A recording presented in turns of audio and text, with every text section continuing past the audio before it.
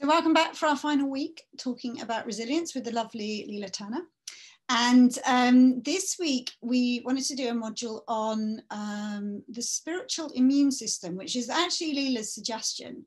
So, I don't yet know what she means by that, but um, we're going to find out together. So, Lila, do you want to um, enlighten us? just just if you could just enlighten us that would be great. Yeah. What do you mean by spiritual immune system and why did you why did you think oh yeah this is something that would be relevant to this topic? Well i mean i think it's it's connected to our ability to have very healing thought and I've always known as a kid. So my mom grew up giving me homeopathy and herbs, and I always knew there was such thing as immune system. I knew if you put vitamin C in it and you did all these things, or and I knew that if you rested when you were sick, you you you know at some point your body would sort of heal and mend and knit itself back together. Although I didn't ever take that advice, um, but I knew it was true, and the kind of mind that I used, kind of up till when I really started looking at, you know, this understanding was I was the equivalent of a sort of my mind basically was like a sort of stressed out manic executive that ran around from meeting to meeting never stopped and was kind of burnt out in my mind mm. and so i didn't really get the things i was looking for in in all, all of the things that i you know i was i was looking to feel connected i was looking to feel happy i was looking to feel nourished by life. And i was looking you know i didn't even know that new thought was available because i'd felt like i had exhausted every single avenue by all of my various thinking you know patterns that i had. And what i started to discover um, you know the longer i started to listen to less thought so what started to happen is when I first came across this, I would listen to every single thought that came in, and because every single thought looked relevant and respectful, and if it came in, it was a bit like a parking attendant or a policeman or a dentist or a surgeon. I'm like, oh, you seem important. Oh, you're a good point. Oh, good point. And you know, so I was listening to everything felt like it had an official badge, you know, and so everything I listened to meant that my mind was very, very fatigued and and I was just kind of worn out. So there was not a lot of room for something else, something other, something richer to happen. Mm. And when I started, well, the first thing I realized when I kind of learned this understanding, one of the first things I essentially, well, I wouldn't say apply it to, but got visible to me was how much of my thought was kind of mean and rude to me. Um, I would say the most of the kind of uh, the, the, the the the official with the squeaky, you know, the crinkly coat and the badge that I listened to was "You're not quite good enough," or "You're not you have you've forgotten something," and "What if?" You know, it was that kind of. And so, about eighty percent of the thought that I listened to um, had that feeling of, you know, just agitation, worry, what if, oh no, I didn't, oh, I did it wrong, I did it bad. What if, I, you know, it was basically, I was never here. I was either a couple of steps in the future, how terrible it might be, or what an idiot I was 10 minutes ago, or two hours ago, or two years ago. And so I lived in mental fatigue. Mm. And I never got really nourished by life. So I went to Hawaii. I had a beautiful moment in Hawaii sort of by accident. But then I went back thinking that was lovely and went back a number of times and just went back with a speedy mind. So I never got any nourishment, but I was looking for nourishment from Hawaii, not from myself. So I didn't know. And as I started to realize, oh, these thoughts that I'm having that I've had forever, like that I remember, have a feeling of critical meanness to them. It's like tasting soup that you taste fine at first and then you realize oh it's gone off do you know what i mean when you taste yeah. food and you're like oh it's been in the fridge a bit too long um, i realized there was an aftertaste to that kind of quality of thinking and i started to go ooh well if this is what i'm learning is true and I, is this right after i'd learned that experience there's more to me you know kind of at that conference experience i was like what if because i hadn't learned anything at that conference i realized there, there was more and so it made sense to see what if I didn't listen to all of those thoughts? So I stopped listening to the majority of my worried, anxious thinking. I started to go, Ooh, you have a mean feeling So I started to think of my thoughts like that as like, it's like a mean, I don't know if any of you have had a, like a mean best friend that's always a bit mean to you. Yeah. You hang out with them, but they're always a bit like, oh, yeah, you don't really look good in that. Or have you, should you really? And you think they're your friend, but they're always putting you down a little bit because they want to be a little bit better and a little bit prettier. And, you know, and I haven't had hardly any in my 48 years, but I have a couple times and I don't think they were bad. I just think they were insecure people. But I went along with that and my I listened to the mean best friend in my own mind for a long time. And I was like, what if I don't listen to her? And what happened was is I started to get quieter. And what I started to discover when I listened to so much less of that thought is I started to get the whole, my whole system just started to calm down. And a bit like if you've been really sick, like I learned years ago that if I'm starting to get like the flu or a cold, if I take even an afternoon or a morning or a day and I rest, usually I stop it in its tracks, which is quite shocking, isn't it? How many of us mm. push through? I started to get more rested in my system. So my whole spiritual biology just got calmer. And what started to happen was, is I started to get what I would call a beautiful immune response to kind of my life. So as opposed to being a fatigued, stressed out, you know, mind that any thought that came in, it's like any cold, you know, some people's immune systems are down, they'll get every cold going. Yeah. Right so instead of getting every single cold going i would just be like you know it would kind of blip from the landscape. It just sort of my immune system because my mind was rested would sort of deal with it because i lived in a quieter place.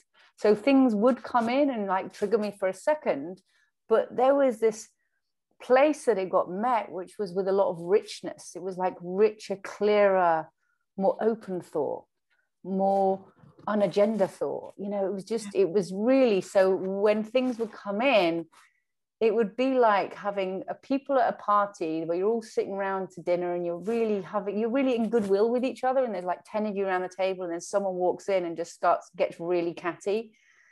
And whenever when you've got most people in the room that are in goodwill that catty person will generally calm down or leave. Yeah. right do you know what I mean? If they come in and they're just, you know, it's like the feeling of the room sort of takes care of it. In the old days, it's not like that. It's like you've got nine out of 10 people being catty and bitchy, and someone comes in and joins them. They're like, yeah, tell me more. yeah, no, it's really bad, isn't it? And that's what our old system was like. Mm. Just like stressy, anxious, living in a pool of contaminated, stressy, anxious thinking. And then when an anxious thought comes into that, it's welcomed with open arms and really indulged. Well, it's just like good point. Oh my God, it's just like another good point. It's like yeah. it's like having seven no, you know what's who's the guy from the Britain's Got Talent or whatever? Like, you know, the kind of they always have to have for entertainment system like a mean person. Yeah. But if your head is full of that, any other mean thoughts like, oh, that's a good point and so there's a there's an ecosystem and a balance in our mind that's really natural. And i started to experience um, you know more like it's like things started to grow more naturally in my mind without having to look for it. I started to get ideas naturally without having to find clarity. You know one got us i just want to get clarity from a client mind but then you're you're a bit tense and you're looking for it and you've got an agenda and you want a specific answer as opposed to like giving much more room for things to grow inside of you. So I started to discover really new feelings when I left myself alone. And that's a really big one. When I left myself alone, and it didn't mean that I had a pristine beige 500 thread count sheets, kind of like it just was the whole experience of living felt gentler. If anything, that's been the most valuable thing that I've got from the principles isn't amazing insights. It's not. It's not clever ways to do things. It's that feeling of gentleness and connection is the most prized thing that I hold over everything else. Yeah, and what I love what you're saying because it makes me think of sometimes I think the clients that I see and me can get so short term right? So I'm having a panic attack now. How do I fix it? I'm having a low mood right now. How do I get out of it? And, and the feeling I get when you talk is like, we're not talking about the immediate, the next three seconds. We're talking about the, the general feeling you walk about in life with generally. Mm. Right. And then, and as your understanding grows, that just gets, to my mind, just gets healthier. Like imagine this big expanse of your life. And just gets healthier and healthier and healthier and healthier. And yes, you'll have blips where your mood falls, or yes, you'll have your, you know, your, your anxious bits, or you'll get your reactive thinking, or whatever. You'll have your dips, and that's like, yeah, you're still going to get a cold every now and again, no matter how good your immune system is. But don't, if you come to me, and I, I remember doing a video on this once, saying like, if you come to me and say, ah, I've got a cold, I've got a cold, how do I fix it? How do I fix it? It's like, I got nothing for you apart from a tissue so you can wipe up your snot. Mm. But I can help you learn about the, the immune system such that you get fewer colds. And when you do, you recover from them a lot more mm. quickly because the environment they land in, like you're saying, is calmer. And it just made me think of the this is a this is a this isn't a quick fix. This is a this is a this is a long-term sinking deeper and deeper and deeper into how life really works and who we really are, into our true nature, and living in the feeling of that for the rest of your life. Mm. There's no rush. Mm. It's bigger than just the next 10 minutes. We, we, we're such little busybodies, aren't we? yeah and we're real we're real no but we're real curtain twitchers of our own experience how about now what about now you in a nice feeling now do you know what I mean? And so I used to, when I first learned the principles, and I think this is really true, like I got really in this incredible feeling. And then the first time you lose your bleep, you think the principles broke. Yeah. Right. Oh, I broke. I thought it was too good to be true. And I, and I, I, I tensed up around that. And I didn't realize until probably a couple of years, well, no, maybe sooner, but I didn't realize that every gift I got was from having a thought that I could have a new relationship to. So I've heard this about colds that actually colds are incredible for your immune system because it actually runs your it, wait, it, it kind of runs your immune system. It's like running, you know, making sure your car runs now and then. Mm. I'm not fixed on this, so don't take this literally, but when I first kind of got really blissed out, and then I had a like, I remember losing my shit. Like I had this tantrum, probably I would say tantrum because I I got really pissed about one something that triggered me to do with meth, and I'm uh, I'm literally like a hurricane, and just and I in my, and in my head I'm like in the dialogue of that losing it, I'm like you idiot, the principles broke. Um, and then part of me, you know how I say the question is like, where's Wally keeps popping into my head going, well, what's about that? Or how do you feel about losing all your savings? Or, you know, what, what, what does your daughter actually look like? What occurred to me is like, oh, this is cool. You're having a mood. And so right in the middle of my like literally seeing cows and buildings going in my little hurricane Lila, because I am quite hurricane, in the middle, I didn't realize there's a center of a storm in every storm, and I really felt it. This is a long time ago. I remember thinking, this is so cool. I can study a storm from the inside. And instead of trying to get out of it, I watched how it worked, and it was really cool. Yeah. I mean, of course, I started to come out of it immediately because I wasn't believing all of the flying cows and buildings and tractors. I was like, whoa, this is interesting even coming out of the judgment that I wasn't talking very nicely to whoever one of my family members. But I've really realized sometimes I'll be really in a good place and then I'll just get disturbed for a few days. And when I soften to that, I'm like, oh, this is so cool. I can learn about that. Yeah.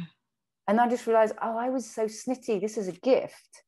And I don't believe in this traditional idea that you have to go through a long psychological tunnel of pain to become good at something. I mean, I don't, I just think it's, I get given what I haven't got a more, a loving relationship with. So I keep get giving the thoughts that I think are a problem or yeah. I think are coming from outside. And it's like I get given them as an opportunity so that I can come become at peace with all of the parts of me. Yeah. Yeah, no, I see that. I see that there's like some weird intelligence behind the system that that just has a conveyor belt of experience so that we can know it more deeply. You know the, the same thing that's creating the experience it wants us to know it. It wants us to have a relationship with it, it wants us to know it know itself. Life wants itself to be known by itself. And so it it creates these experiences that it conjures up through thought to show us itself if we're willing to look. Mm. we don't. We get caught up in the drama that's happening on the screen instead of taking a look to see what's what's behind the scenes. What what's and we do we get the same lessons you know we get the same same habitual thoughts we get the same experiences again and again and again and again to my mind until the other side of that is always a deepening of our understanding and a, and a changing and of our relationship to the the apparent thing but to our not only to the apparent thing on like a horizontal level, but on a vertical level, you know, a, a changing relationship to our experience of how all life is created. If that makes sense. Yeah, no, I mean, I mean, I ultimately feel like every experience I have. So if I take my daughter as an example, where I get the most worried or the most projection or the most agenda, every single time it's an invitation to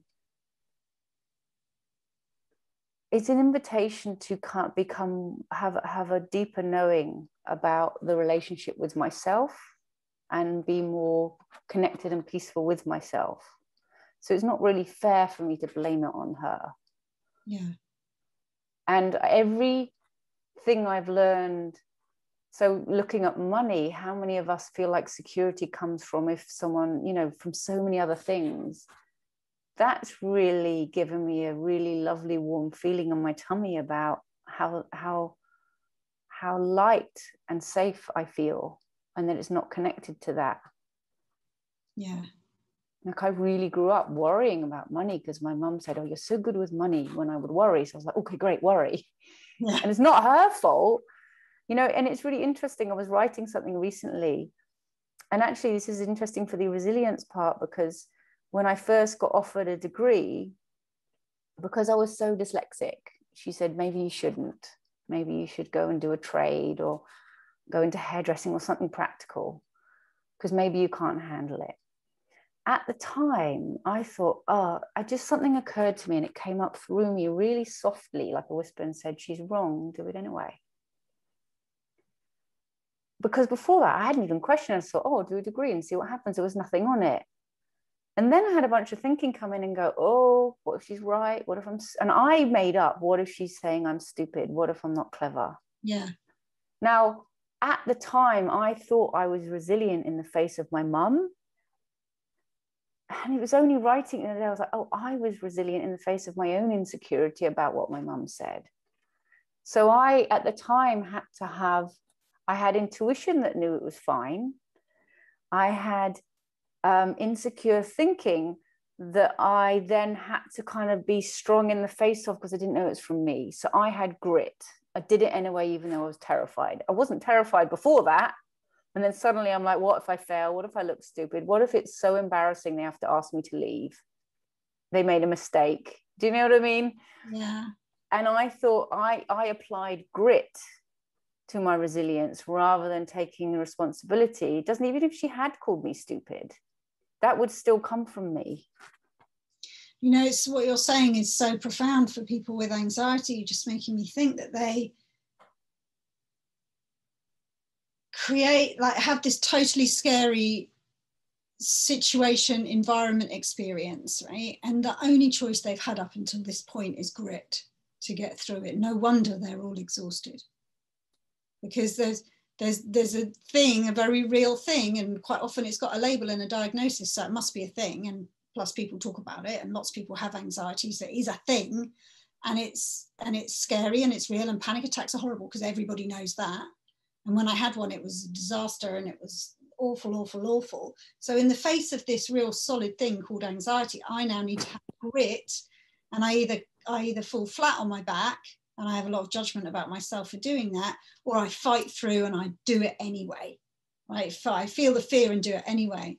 And what you're what you're making me think of is oh my god when you realize that this is you don't have to be strong in the face of something that's real and solid and true I mean, the minute you see that this is made of thought and it's coming from inside of you, you don't need grit anymore. You don't need to fight anymore. As you soften in the face of seeing that it's made of thought, there's no fight anymore.